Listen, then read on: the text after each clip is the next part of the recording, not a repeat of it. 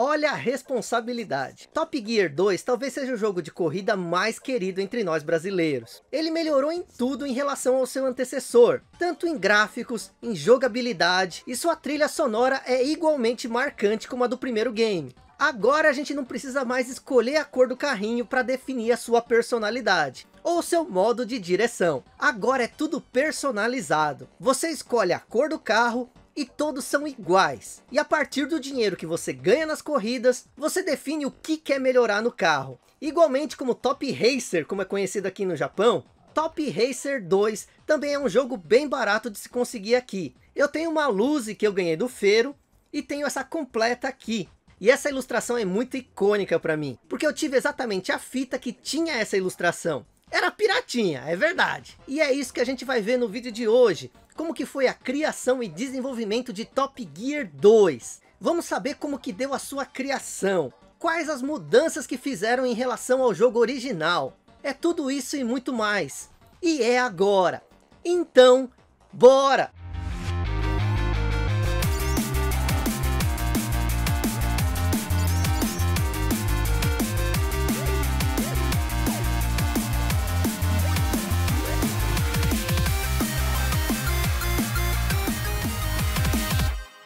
Nós somos responsáveis por esse jogo. Mesmo não tendo feito tanto sucesso nos Estados Unidos, o primeiro Top Gear, lançado em 1992, teve uma recepção mista por parte da imprensa norte-americana, mas foi muitíssimo elogiado e vendeu super bem na América do Sul, especialmente no Brasil. Comentamos amplamente sobre isso, num vídeo que falamos do jogo original. Lá você confere todos os detalhes do game de corrida que encantou os brazucas. Essa repercussão e a promessa de evoluir foram suficientes para que Top Gear 2 ganhasse sinal sinal verde e fosse feito rapidamente. A sequência foi novamente desenvolvida pela Gremlin Graphics, ou Gremlin Interactive, sendo lançada em agosto de 1993 para Super Nintendo através da Kenko, em junho de 1994 para Mega Drive, pela Soft House Vic Tokai, e no mesmo ano pela própria Gremlin para Commodore Amiga, um computador pessoal popular na época, principalmente na Europa, que era focado em jogos eletrônicos e feito para concorrer com os consoles. O desenvolvimento e as intenções do jogo.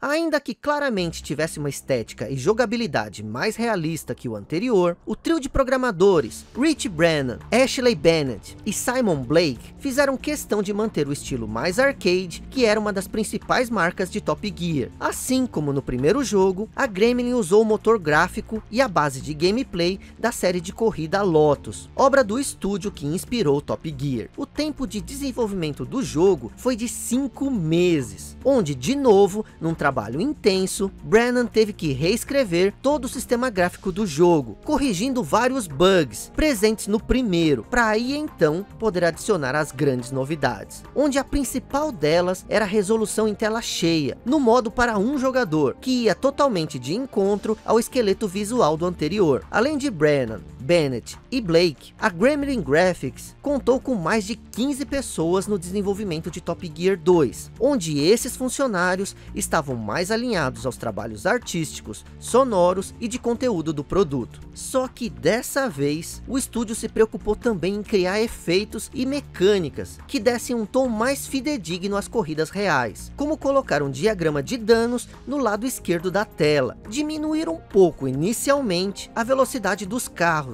e inseriu a possibilidade do jogador poder montar a sua máquina através da grana faturada nas corridas, e não apenas no que se refere ao visual, mas também as peças de funcionamento, o que tornou os veículos mais difíceis de se controlar, bem como deixou os oponentes mais rápidos e resistentes, já que a máquina dominava o sistema do jogo. Agora não tem mais aquela coisa do carro de cor específica, representar características particulares. Cabe a você montar o seu próprio poçante. E isso era uma das melhores coisas, fala a verdade. Adições que impressionam. A mudança de clima, algo surreal para a época, deu uma outra dinâmica, Antes da corrida é informado o local com o nome da cidade e do país, e é igualmente avisado o clima da região, se vai estar chovendo, nevando ou mesmo com neblina, além do horário, já que o game possui eventos à noite também. Top Gear 2 se passa dessa vez em 16 países, o dobro do anterior, e possui um total de 64 pistas, onde quatro dessas corresponde a cada nação, onde o jogador começa na Austrália barra Nova Zelândia e termina a campanha nos Estados Unidos, após conseguir o número de pontos necessários para dominar o país competido. O player recebe um password que pode ser utilizado como uma espécie de save da campanha, já que mesmo saindo da partida, ao inserir esse password, é possível voltar o progresso. Ah, só por questão de informação, por causa do acordo feito de naming rights ou direitos de nome, a pista Necrópole de Gizé no Egito foi renomeada para Hug Saiton, em alusão ao fotógrafo da Corbs Corporation, empresa parceira. O sistema de classificação determina que o piloto termine pelo menos entre os 10 primeiros colocados, para se classificar para a próxima corrida. Através do mapa no canto superior direito, é possível ver o layout do mapa, com a simulação da sua distância em relação aos concorrentes, bem como logo abaixo, sua colocação é destacada. E no quesito de nitro, que você pode aumentar a quantidade e a potência da ferramenta comprando através do dinheiro que fatura nas corridas, e também com os tickets encontrados, com o símbolo de cifrão destacado, espalhados pelas pistas. Aliás, é possível achar até tickets de nitros extras, com o símbolo N, e de nitros especiais, pelo símbolo S, podendo ser reativos a cada volta. Dessa forma, não há mais pit stop, o que obriga você a bater o mínimo possível, ajudando muito no consumo de combustível e na compra de equipamentos, que melhoram a sua performance. Uma visão mais tática,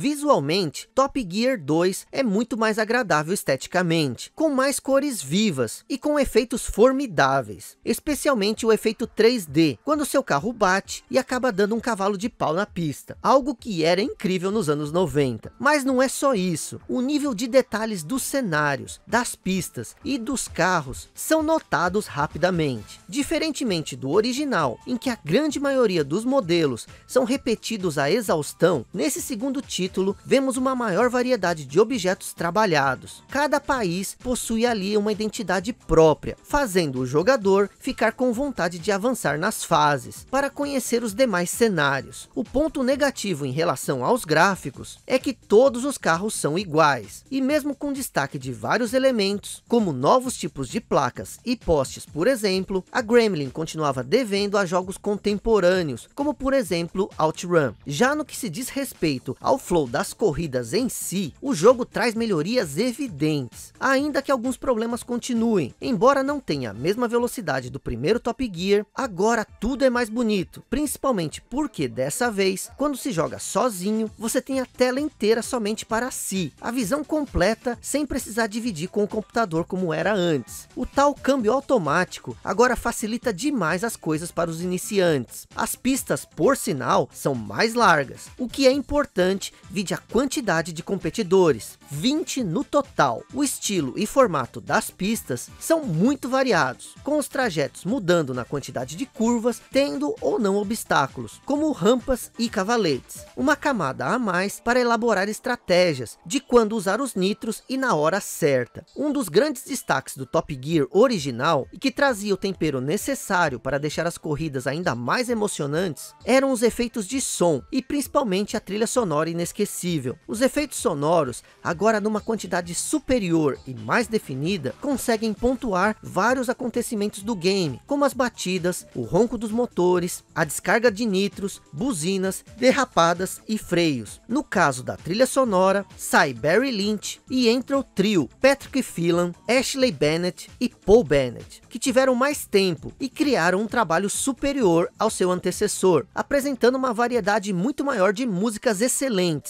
e sem precisar reciclar as canções de outros jogos. São temas ótimos e com agitadas batidas eletrônicas, o que casou perfeitamente com a proposta e trouxe aqueles sentimentos de emoção e aventura para as corridas. Novamente, um dos pontos altos de Top Gear 2, e como ele é mais lembrado, e é justamente pelo trabalho na composição das músicas. Dá para dizer que muitos jogos de corrida tomaram como referência esse estilo na intenção de criar as mesmas sensações. Mais diversão, menos burocracia.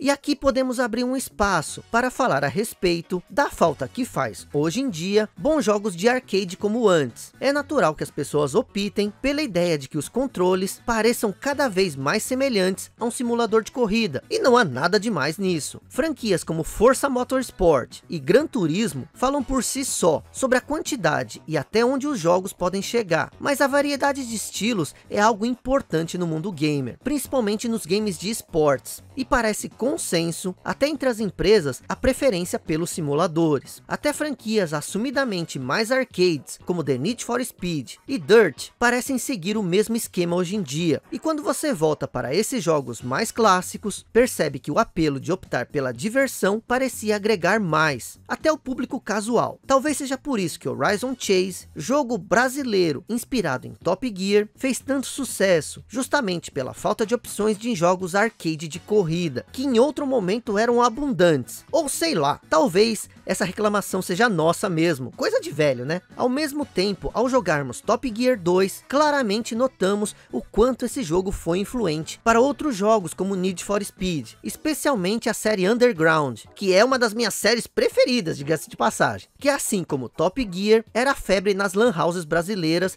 no começo dos anos 2000. A customização dos carros em Need for Speed, Underground 1 e 2, obviamente, era muito mais ampla, principalmente do ponto de vista visual, mas a dinâmica de vencer as corridas e com o dinheiro conquistado, usar para comprar peças e assim avançar nas fases, era algo habitual no clássico da Sega e da Nintendo. A versão de Mega Drive, apesar de ter vindo com alguns cortes em relação à variante de Super Nintendo, como por exemplo, o medidor de combustível, que nessa versão da Sega inexiste, ou mesmo a placa de som que fica devendo, o Top Gear 2 que saiu para Mega Drive, ou Sega Genesis, é uma opção interessante para aqueles que gostam de uma boa corrida despretensiosa nos videogames, já que por ser mais simples, o jogo também é mais veloz, talvez mais desafiador e certamente tão divertido quanto a versão de Super Nintendo, tendo uma campanha que pode durar de 4 a 5 horas, dependendo do seu desempenho, é claro. E mesmo o jogo da Nintendo sendo a mais clássica e jogada, e a de melhor qualidade, sem dúvida, era de PC Amiga, muito pela qualidade da trilha sonora, que ganhou até uma edição especial em CD. A versão de Mega Drive nunca é esquecida, e dita com muito orgulho pelos ceguistas, que a sua velocidade maior que a do Super Nintendo, se deve ao Blast Processing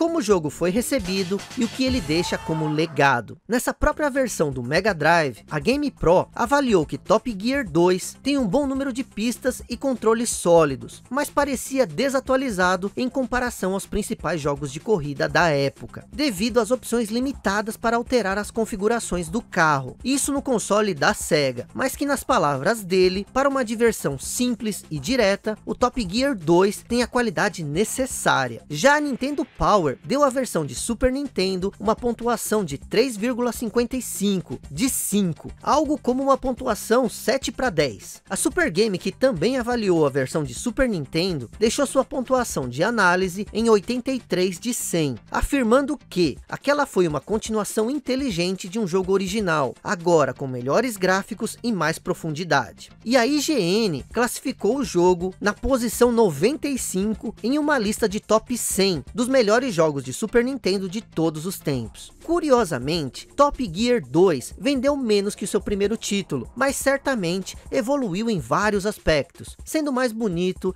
tendo mais conteúdo e possuindo uma campanha muito maior que seu antecessor. Por incrementar mais mecânicas e exigir que o jogador comprasse as peças necessárias para poder evoluir o seu carro e avançar na campanha, o jogo deixou de ser menos casual, de não ter um apelo mais amplo, digamos assim, já que era comum ver os filhos jogando com os pais no game anterior. Se nesse novo jogo o player não seguisse corretamente os esquemas e ignorasse os danos no carro, ficaria ali parado no meio da pista até seu concorrente terminar. Ou seja, virou algo mais e difícil, o que pode ser bom para alguns e nada interessante para outros. Mas aqueles que aproveitaram o máximo que podiam, nada tem a falar desse jogaço que resistiu ao tempo e que até hoje é jogado pelos fãs dos jogos de corridas clássicos. O inesquecível Top Gear 2. Algo interessante de se falar de Top Gear 2 ou Top Racer 2 é que a ilustração que tem no Top Racer 2 é a ilustração que tem na capa do Top Gear 1. Então os japoneses só tiveram acesso a essa ilustração no segundo jogo da série. Esse manualzinho foi bem folheado, vocês podem ver aqui, mas ele é bem colorido. E é um manual que até dá gosto, porque ele tem bastante páginas de ver. Que nós que somos velhos gostamos de manual, né? Gostamos de coisa assim. Mas o principal é o cartucho. Ó, aqui a fita, como vocês queiram. Como que ela está novinha, está praticamente intacta. A parte de trás mostra bem como que ela está novinha ainda. Parece assim que foi jogada apenas duas ou três vezes. É incrível isso. Só japonês mesmo. Como eu já falei para vocês anteriormente, eu tive esse jogo piratinha. Por isso eu joguei muito mais Top Gear 2 do que Top Gear 1. E era algo muito marcante, porque eu jogava com meus amigos. Meu vizinho que também tinha o Super Nintendo e também com os amigos de escola. Mas eu quero saber de você. Qual a sua história com Top Gear 2? Eu tô muito curioso, me fala aí nos comentários. E se você quiser ganhar um coração meu, me diz aí qual a cor do seu carro, a sua cor preferida em Top Gear 2. Ah, e não se esquece, me segue no Twitter e no Instagram, arroba Vitorisui. No Twitter a gente pode conversar sobre tudo. Já no Instagram eu posto foto de itens que eu ainda não mostrei aqui, além de você saber um pouco mais da minha vida aqui no Japão. Então me segue lá, arroba Vitorisui, no Instagram e no Twitter. E vocês pediram para ter vídeo do cotidiano, tem vídeo do cotidiano, tem até destaque lá, então não reclama, não reclama. Eu sou o Isui, obrigado a você que viu o vídeo até aqui e até mais.